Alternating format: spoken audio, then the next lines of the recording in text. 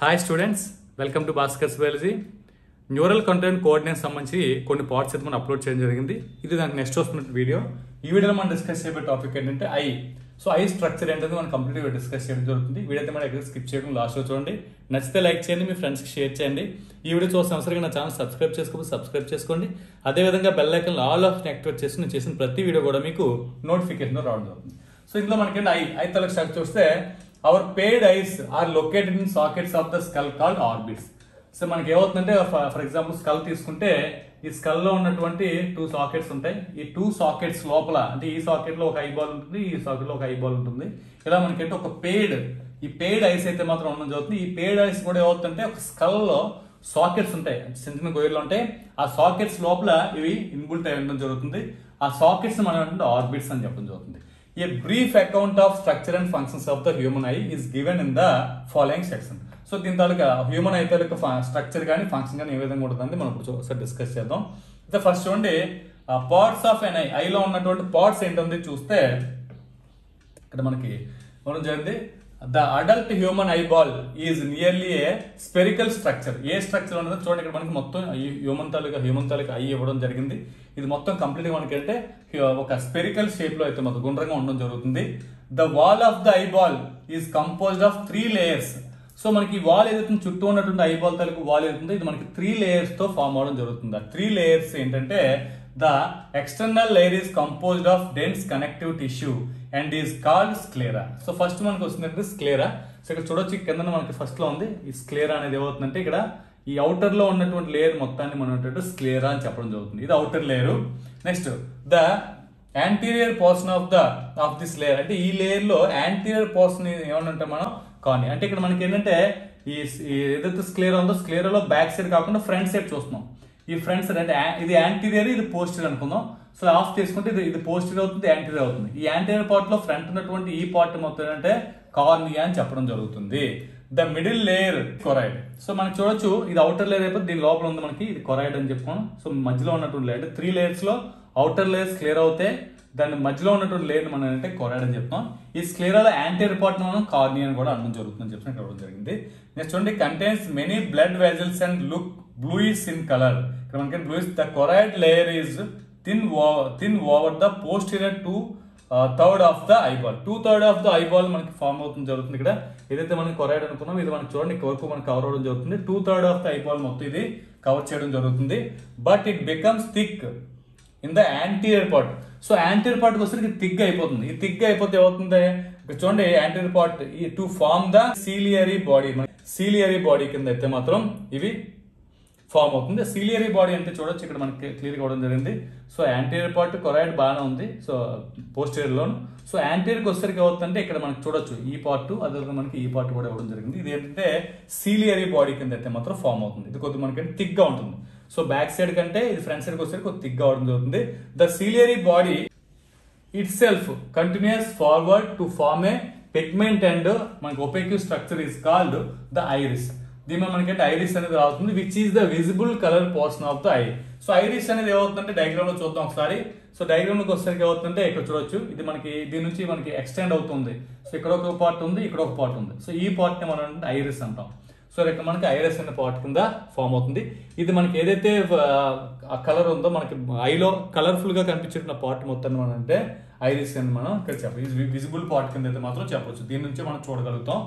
So next వచ్చేసరికి చూడండి the eyeball ball contains a transparent crystalline lens which is help in place by ligaments attached to the ciliary body so ciliary body attach అవుతూ lens ఉంటుంది. ఈ lens కూడా ఒకసారి మనం చూద్దాం. ఇది మనకి లెన్స్ ఇది. ఇది మనకి సీలియర్ బాడీ ఇది కూడా సీలియర్ రెండు సీలియర్ బాడీకి మనకి ఏమవుతుందంటే కనెక్ట్ అవుతూ లెన్స్ అనేది ఒకటి ఉండడం జరుగుతుంది. సో ఇది మనకి సంబంధించింది డయాగ్రామ్లో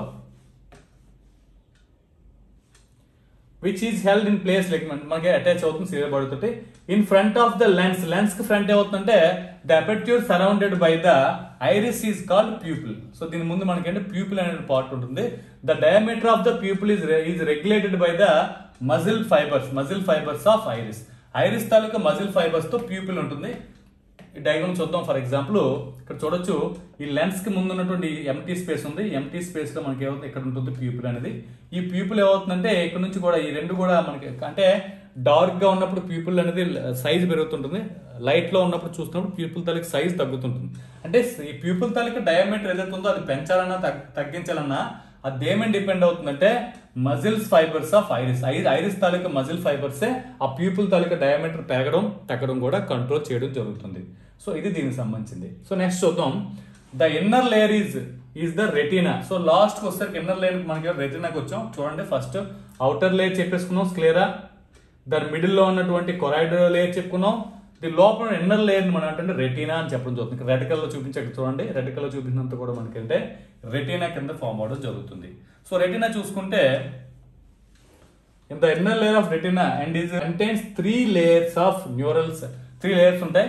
న్యూరల్ సెల్స్ మనకి దేంతో ఫామ్ అవుతుంటే from inside to outside inside నుంచి అవుట్ సైడ్ చూస్తే ఫస్ట్ ఏంటి? గ్యాంగ్లియన్ సెల్స్ ఉన్నాయి. నెక్స్ట్ బైపోలార్ సెల్స్ ఉంటాయి. దీని తర్వాత మనకంటే ఫోటో రిసెప్టర్ సెల్స్ అని ఉంటాయి. సో మనకి ఇలా మనకి త్రీ లేయర్స్ ఇది first layer second layer third layer ఇలా మనకి ఇది ఫస్ట్ లేయర్ కింద చెప్పొచ్చు సెకండ్ లేయర్ చెప్పి చెప్పొచ్చు థర్డ్ లేయర్ సో ఈ రకంగా మనం చూసుకుంటే ఇక్కడ మనకి లైట్ అనేది ఇక్కడ పడుతుంటుంది లైట్ సో లైట్ పడేటప్పుడు ఏమవుతుందంటే ఫస్ట్ లేయర్ని మనం ఏం చే- ఏం చెప్తాం అంటే గ్యాంగ్లియన్ సెల్స్ అంటాము.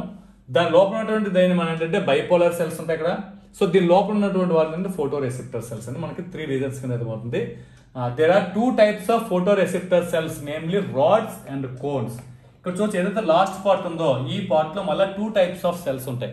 ఆ టూ టైప్స్ ఆఫ్ సెల్స్ ఏంటంటే రాడ్స్ ఒకటి కోన్స్ ఒకటి. అంటే రాడ్స్ అదే మనకి ఇలా కోన్స్తో ఫామ్ అవుతుంటుంది ఇలా మొత్తం ఓవరాల్ కానీ ఇలా. సో ఇందులో మనకి రాడ్స్ ఉంటాయి అదే మనకి కోన్స్ కూడా ఉండడం జరుగుతుంది. దీనిలోని ఏ పార్ట్స్ ఉంటాయంటే థర్డ్ పార్ట్ ఏంటి? ఫోటో రెసిప్టర్ సెల్స్ పార్ట్ ఏదైతే ఆ పార్ట్లో టూ టైప్స్ ఆఫ్ సెల్స్ ఉంటాయి. టూ టైప్స్ సెల్స్ అంటే రాడ్స్ ఒకటి కోన్స్ ఒకటి. అంటే ఇటు నుంచి ఇటు చూసుకున్నప్పుడు ఫస్ట్ వన్ మనకి ఏమున్నాయి గ్యాంగ్లియన్ సెల్స్ ఉన్నాయి. మధ్యలో వచ్చేసరికి బైపోలార్ సెల్స్ సో అంటే uh, టూ పోలర్స్ ఉంటాయి సెల్కి ఆ రకంగాను. దీని తర్వాత థర్డ్ వన్ వచ్చేసరికి ఏంటంటే ఫోటో రెసిప్టర్ సెల్స్ ఉంటాయి. ఈ ఫోటో రెసిప్టర్ ఈ పోర్స్లో మళ్ళీ టూ టైప్స్ ఆఫ్ సెల్స్ ఉంటాయి. అవి ఏంటంటే రాడ్స్ ఒకటి కోన్స్ ఒకటి.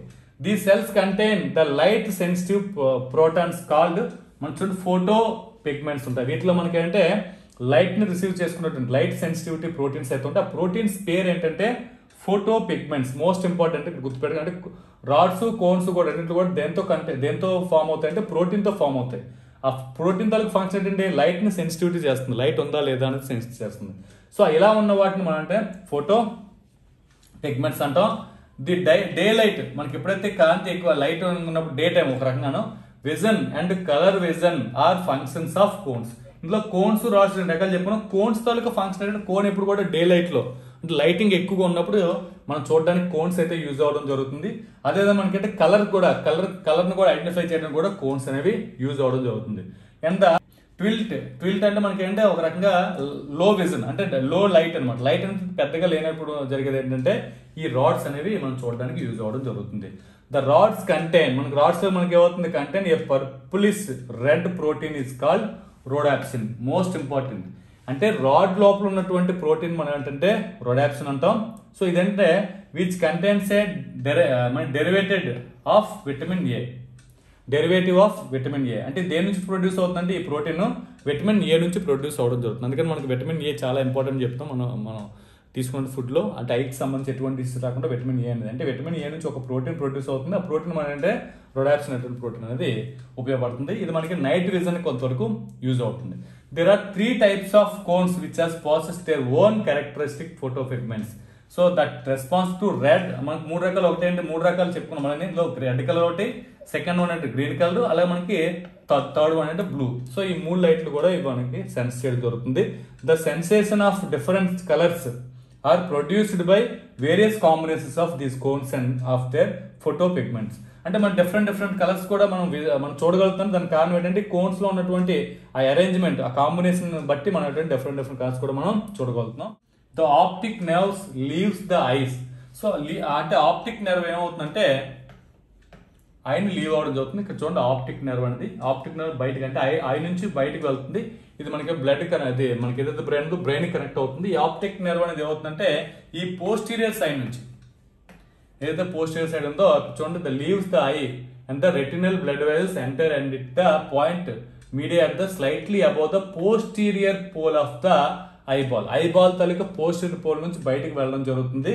నెక్స్ట్ ఉండే photo receptor cells are not present at this region and hence is called the blind spot ఇక్కడ మనకు బ్లైండ్ స్పాట్ అని రావడం జరుగుతుంది. అంటే ఎందుకంటే ఈ ఏదైతే మనం ఆప్టిక్ నర్వ్ ఉంది ఆ ప్లేస్ నుంచి ఐ నుంచి బయటికి వెళ్తుంది కాబట్టి అక్కడ ఎటువంటి ఫోటో రెసిప్టర్స్ కూడా ఉండవు. ఎందుకంటే అది ఆక్యుపై చేసింది కాబట్టి ఆ ప్లేస్ని సో అక్కడ ఆ పాయింట్ని మనం ఏమంటే బ్లైండ్ స్పాట్ అని చెప్పడం జరుగుతుంది. ఇక్కడ మనం ఏంటంటే విజన్ అనేది ఏమి కూడా ఉండదు. Next at the next the posterior pole of the eye lateral the blind spot there is yellowish pigment spot called is macula lutea అని ఇచ్చాడు.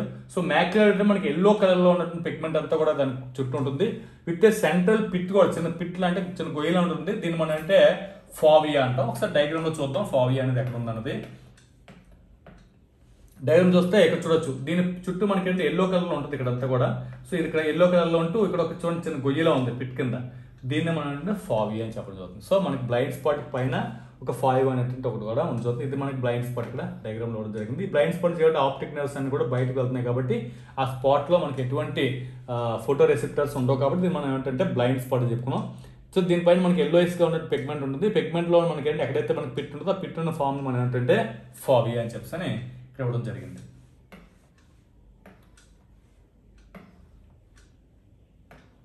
చూడచ్చు.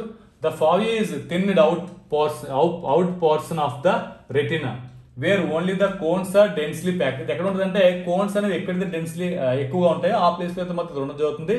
It is the point where the visual activity is the greatest ఇది దీనివల్ల ఏమవుతుందంటే visualisation ఇంకేమవుతుంది? ఇంకా accuracy యాక్యురేట్గా అంటే మనకి పర్ఫెక్ట్గా ఉండడానికి అయితే మాత్రం ఇది యూజ్ అవ్వడం జరుగుతుంది. సో నెక్స్ట్ వచ్చేసరికి ఏమవుతుందంటే the space between the cornea and the lens is called aqueous chamber అంటాం. కార్నియాకి లెన్స్కి మధ్యలో ఉన్నటువంటి స్పేస్ చూద్దాం సార్ డయాగ్రామ్లో. ఇక్కడ చూడొచ్చు ఇది కార్నియా ఇఫ్ అవుటర్లో ఉన్నదని కార్నియా అంటాం ఇది మనకి లెన్స్ అవుతుంది. ఈ కార్నియాకి ఈ లెన్స్కి మధ్యలో ఉన్న స్పేస్ ఉంటుంది. దీన్ని మనకి అంటే యాక్వియస్ చాంబర్ అంటాం. And contains a thin watery fluid called aqueous humour అంటాం. సో ఇందులో మనకి ఫ్లూయిడ్ ఉంటుంది. వాటరీగా ఉన్నటువంటి ఫ్లూయిడ్. ఆ ఫ్లూయిడ్ని మనం ఏంటంటే యాక్వేస్ హ్యూమర్ అని చెప్పడం జరుగుతుంది.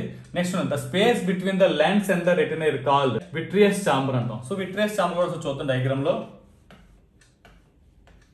ఇక్కడ ఇది లెన్స్ మొత్తం రెటినా సో రెటినాకి లెన్స్కి మధ్యలో ఉన్నటువంటి స్పేస్ మొత్తాన్ని మనం ఏంటంటే చూడండి విట్రియస్ చాంబర్ అని చెప్పడం జరుగుతుంది. Vitreous chamber and is filled with a transparent gel called మనకంటే విట్రియస్ హ్యూమర్ అని చెప్పడం జరుగుతుంది. సో దీనిలో మనకి ట్రాన్స్పరెంట్ జెల్ ఉంటుంది. అంటే కలర్లెస్లో ఉన్నటువంటి జెల్ దీని మనకంటే విట్రియస్ హ్యూమర్ అని చెప్పడం జరుగుతుంది. సో ఇది దీనికి సంబంధించింది. మెకానిజం ఆఫ్ విజన్ అనేది ఏంటంటే మనం నెక్స్ట్ వీడియో చూద్దాం. ఈ వీడియో మీకు ఎంతకంత హెల్ప్ అవుతుంది నచ్చితే లైక్ చేయండి షేర్ చేయండి. నా ఛానల్ సబ్స్క్రైబ్ చేసుకోండి. Thanks for watching thank you very much